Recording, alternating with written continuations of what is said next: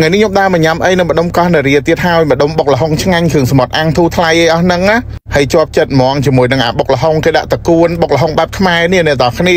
មកលើកណាក៏ដែរចោលដែរហើយបើគ្រឿងសមុទ្រក្លុកគ្រឿងសមុទ្រអាំងរបស់គាត់វិញណានិយាយពីថាកំងហិលប៉ុណ្ណាបានប៉ុណ្ណឹងហើយគាត់លក់ធូរធូរថ្លៃទេមួយចាន12000អីឡើងទៅទេអ្នកទាំងគ្នាហើយគ្រឿងសមុទ្រវិញនិយាយពីថាស្រស់ស្រស់ថ្មីថ្មីដូចតែឃើញអញ្ចឹងនេះមកតេះវិញក៏ហមឡើងឆ្អិនឆ្អៅហ្មងហើយកន្លែងដែលមាននំអ្នកទាំងគ្នាមកថ្ងៃនេះគឺមានឈ្មោះថាគ្រឿងសមុទ្រដាច់យប់នឹងឯងគ្រឿងសមុទ្រដាច់យប់នេះកន្លែងគេនៅម្ដុំកោះនារីចិត្តប៉ោះបាយ័នយើងហ្នឹងហើយបាននិយាយទៅគឺនៅទល់មុខក្លឹបវៃសីម្ដុំប៉ោះបាយ័នហ្នឹងហ្មងណានេះគឺសំដៅមករញ៉ាំគ្រឿងសមុទ្រអាំងរបស់គាត់ហ្មងដោយសារតែគ្រឿងសមុទ្រនៅទីនេះស្រស់ស្រស់ហើយធូរថ្លៃទៀតអ្នកទាំងគ្នា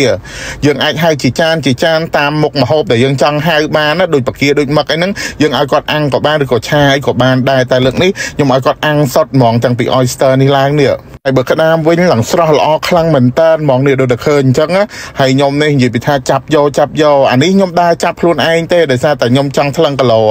ហើយបើចាក់ស្ដែងទៅយើងកំងដាក់ចានចានស្រួលជាងយើងមិនហត់ដើរចាប់គាត់ទៅចាប់ហើយគាត់មិនតន់ប្រឡាក់មិនតន់អីទេមកមើលគាត់បុកលហុងសិនដោយសារតែឃើញគាត់បុកលហុងដល់ពេលអញ្ចឹងមកឈោមើលថោថតឲ្យអ្នកទាំងគ្នាមើលបដ ாய் ហើយបុកលហុងនៅកន្លែងនេះហើយខ្ញុំមកម្ដងណាក៏ហៅដែរហើយគឺហៅដាក់ម្ទេសហិលហហិលកប់ហ្មងម្ទេសវិញគឺកំងហិលប៉ុណ្ណាបានប៉ុណ្ណឹងហ្មងហើយអីដែលខ្ញុំចាប់ចិត្តហ្នឹងគឺអាតកួនដែលគេដាក់មួយបុកលហុងនេះហើយអ្វីដែលសំខាន់ណាបុកលហុងគាត់ឈ្ងុយកាពិខ្លាំងមែនតើអ្នកដែលចូលចិត្តបុកលហុងបែប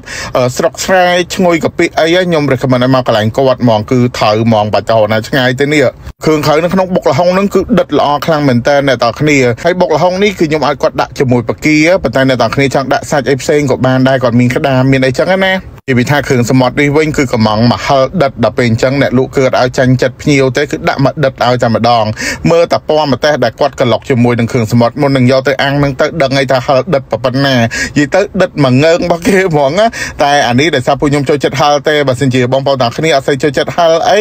អាចកំងតាមចំណងចំណូលចិត្តបានកុំឃើញពួកខ្ញុំកំងហិលលេងដាក់ហិលតាមអីក៏ញ៉ាំអត់កើតអីចឹងណាដោយសារតែបងនីខ្ញុំវិញនឹងសិតតអ្នកចូលចិត្តហិលបើបងនីវិញលេខ1ហ្មងខ្ញុំមិនសូវម៉ានទេអ្នកទាំងគ្នាបរិយាកាសកន្លែងគាត់ស្អាតរៀងមេឃប្រលប់បន្តិចទៅឃើញមេឃឡើងស្អាតហ្មងពណ៌ឡើងនិយាយទៅថតរូបស្អាតហ្មងអ្នកទាំងគ្នាហើយនិយាយពីខ្យល់អាកាសវិញអត់មានតង្ហាលទេតែនិយាយថាខ្យល់លហើយទៅសៀកហ្មងនេះឥឡូវមកហូបដឹកកំងបានមកអស់ហើយមានគ្រឿងសមុទ្រអាំងបុកលហុងជាភាសាជើងមាន់ពងខ្ទឹមសទៅគួរណាតាហៅទៅខ្ញុំថ្ងៃនោះអង្គុយញ៉ាំអាជើងមាន់ពងខ្ទឹមសនឹងឡើងចង់អស់មួយចានម្នាក់ឯងហើយបងនីវិញមកដល់គឺខ្វះកត្រីញៀនជាងគេគឺញ៉ាំត្រីញៀនមុនគេហ្មងដោយសារតែនេះ favorite របស់គាត់គាត់ថាគាត់ចូលចិត្តខ្លាំងមែនតើនឹងត្រីញៀននេះមួយញ៉ាំ1គីឡូម្នាក់ឯងក៏អស់ដែរជាមួយបងនីអីវ៉ាន់ណាហើយបើបុកលហុងនេះក៏ favorite គាត់ដែរអាបុកលហុងរបៀបឈ្ងុយកាពិអីចឹងគឺពួកខ្ញុំចូលចិត្តខ្លាំងមែនតើហ្មងមិនថាបងនីមិនថាខ្ញុំទេគឺចូលចិត្តដូចគ្នាហ្មងនៅតែគ្នាហើយបើមកអាំងគេនេះជ្រលក់ទឹកត្រីកោះកុងដែលគាត់បុកថ្មីថ្មីមកនិយាយពីថាជាទឹកត្រីនេះខ្ញុំដឹងថាគាត់បុកដាក់គ្រឿងអីគេខ្លះទេណាប៉ុន្តែមានអារម្មណ៍ថាឆ្ងាញ់ខ្លាំងមែនតើក្តាមគេវ៉ានេះនៅតែគ្នាឡើងតំណងមកឲ្យឡើងឈ្ងុយគ្រឿងដែលគាត់ប្រឡាក់ជាមួយនឹងគ្រឿងសមុទ្រដាក់អាំងហ្នឹងធ្វើឲ្យគ្រឿងសមុទ្រហ្នឹងឈ្ងុយកាន់តែខ្លាំងហ្មងហើយផុយថៃនេះគាត់ប្រាប់ថាកន្លែងគាត់លក់ដាច់ខ្លាំងមែនតើរឿងផុយថៃសាល់ម៉ុនហ្នឹងណាឆ្អឹងជនីគោនេះក៏ដូចគ្នានិយាយពីថាជាតិអើយសែនជាតិដាក់មួយចាក់ចាក់អីត្រូវហ្មងនិយាយមែនណាគោអាំងគេនេះសាច់ឡើងផុយជ្រុលជាមួយទឹកប្រហុក the best និយាយទៅកន្លែងនេះគឺមិនត្រឹមតែឆ្ងាញ់ហើយសបោរបស់ប្លែកប្លែកទេអ្វីដែលសំខាន់តម្លៃធូរថ្លៃទៅអ្នកទាំងគ្នាអញ្ចឹងបញ្ជាក់អ្នកទាំងគ្នាម្ដងទៀតហាងដែលមាននាំអ្នកទាំងគ្នាមកថ្ងៃនេះគឺនៅម្ដុំកោះនរានឹងឯងដែលមានឈ្មោះថាគ្រឿងសមុទ្រដាច់យប់ហើយនិយាយទៅនៅម្ដុំប៉ោះបាយ័ននៅទល់មុខក្លឹបវៃសីអ្នកទាំងគ្នាចាំអេដមីនដាក់លេខទូរស័ព្ទហើយនឹងក៏កា map គាត់ឲ្យ ថ្ងៃនេះខ្ញុំដើរមកញ៉ាំអីនៅម្ដុំកោះនារីទៀតហើយម្ដុំបុកល្ហុងឆ្ងាញ់គ្រឿងសមុទ្រអាំងធូរថ្លៃអីអស់ហ្នឹងណាហើយជាប់ចិត្តហ្មងជាមួយនឹងអាបុកល្ហុងគេដាក់តកួនបុកល្ហុងបែបខ្មែរនេះអ្នកទាំងគ្នាមកលើកណាក៏ដែរចោលដែរហើយបើគ្រឿងសមុទ្រក្លុកគ្រឿងសមុទ្រអាំងរបស់គាត់វិញណានិយាយពីថាកំងហិលប៉ុណ្ណាបានប៉ុណ្ណឹងហើយគាត់លក់ធូរធូរថ្លៃទេមួយចាន12000អីឡើងទៅទេអ្នកទាំងគ្នាហើយគ្រឿងសមុទ្រវិញនិយាយពីថាស្រស់ស្រស់ថ្មីថ្មីដូចតែឃើញអញ្ចឹងនេះម្ទេសវិញក៏ហមឡើងឆ្អិនឆ្អៅហ្មងហើយកន្លែងដែលមាននាំអ្នកទាំងគ្នាមកថ្ងៃនេះគឺមានឈ្មោះថាគ្រឿងសមុទ្រដាច់យប់នឹងឯងគ្រឿងសមុទ្រដាច់យប់នេះកន្លែងគេនៅម្ដុំកោះនារីចិត្តប៉ោះបាយ័នយើងហ្នឹងហើយបាននិយាយទៅគឺនៅទល់មុខក្លឹបវៃសីម្ដុំប៉ោះបាយ័នហ្នឹងហ្មងណានេះគឺសំដៅមករញ៉ាំគ្រឿងសមុទ្រអាំងរបស់គាត់ហ្មងដោយសារតែគ្រឿងសមុទ្រនៅទីនេះស្រស់ស្រស់ហើយធូរថ្លៃទៀតអ្នកទាំងគ្នាយើងអាចហៅជាចានជាចានតាមមុខម្ហូបដែលយើងចង់ហៅបានណាដូចបកាដូចមឹកអីហ្នឹងយើងឲ្យគាត់អាំងក៏បានឬក៏ឆាអីក៏បានដែរតែលើកនេះខ្ញុំឲ្យគាត់អាំងសុតហ្មងទាំងពី oyster នេះឡើងនេះ ហើយបើក្តាមវិញឡើងស្រស់ល្អខ្លាំងមែនតើហ្មងនេះដូចតែឃើញអញ្ចឹងណាហើយខ្ញុំនេះនិយាយពីថាចាប់យកចាប់យកអានេះខ្ញុំដើរចាប់ខ្លួនឯងទេដោយសារតែខ្ញុំចង់ថ្លឹងគីឡូហើយបើជាក់ស្ដែងទៅយើងកំងដាក់ចានចានស្រួលជាងយើងមិនហត់ដើរចាប់គាត់ទៅចាប់ហើយគាត់មិនតន់ប្រឡាក់មិនតន់អីទេមកមើលគាត់បុកលហុងសិនដោយសារតែឃើញគាត់បុកលហុងដល់ពេលអញ្ចឹងមកឈោមើលឈោថតឲ្យអ្នកទាំងគ្នាមើលបដ ாய் ហើយបុកលហុងនៅកន្លែងនេះហើយខ្ញុំមកម្ដងណាក៏ហៅដែរហើយគឺហៅដាក់ម្ទេសហឹលហហឹលកប់ហ្មងម្ទេសវិញគឺកំងហឹលប៉ុណ្ណាបានប៉ុណ្ណឹងហ្មងហើយអីដែលខ្ញុំចាប់ចិត្តហ្នឹងគឺអាតកួនដែលគេដាក់មួយបុកលហុងនេះហើយអ្វីដែលសំខាន់ណាបុកលហុងគាត់ឈ្ងុយកាពិខ្លាំងមែនតើអ្នកដែលចូលចិត្តបុកលហុងបែប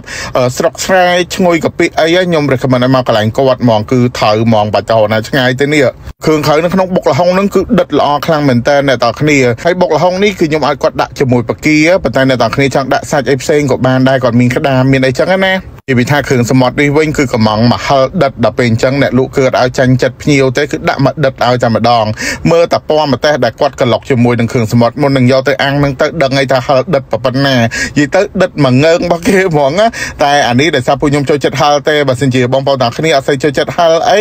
អាចកំងតាមចំណងចំណូលចិត្តបានកុំឃើញពួកខ្ញុំកំងហិលលេងដាក់ហិលតាមអីក៏ញ៉ាំអត់កើតអីចឹងណាដោយសារតែបងនីខ្ញុំវិញនឹងសិតតអ្នកចូលចិត្តហិលបើបងនីវិញលេខ1ហ្មងខ្ញុំមិនសូវហ្មងទេអ្នកទាំងគ្នាបរិយាកាសកន្លែងគាត់ស្អាតរៀងមេឃប្រឡប់បន្តិចទៅឃើញមេឃឡើងស្អាតហ្មងពណ៌ឡើងនិយាយទៅថតរូបស្អាតហ្មងអ្នកទាំងគ្នាហើយនិយាយពីខ្យល់អាកាសវិញអត់មានតង្ហាលទេតែនិយាយថាខ្យល់លហើយទៅសៀកហ្មងនេះឥឡូវមកហូបដឹកកំងបានមកអស់ហើយមានគ្រឿងសមុទ្រអាំងបុកលហុងជាភាសាជើងមាន់ពងខ្ទឹមសទៅគួរណាស់តាហៅទៅខ្ញុំថ្ងៃនោះអង្គុយញ៉ាំអាជើងមាន់ពងខ្ទឹមសនឹងឡើងចង់អស់មួយចានម្នាក់ឯងហើយបងនីវិញមកដល់គឺខ្វះកថៃញៀនជាងគេគឺញ៉ាំថៃញៀនមុនគេហ្មងដោយសារតែនេះ favorite របស់គាត់គាត់ថាគាត់ចូលចិត្តខ្លាំងមែនតើនឹងថៃញៀននេះមួយ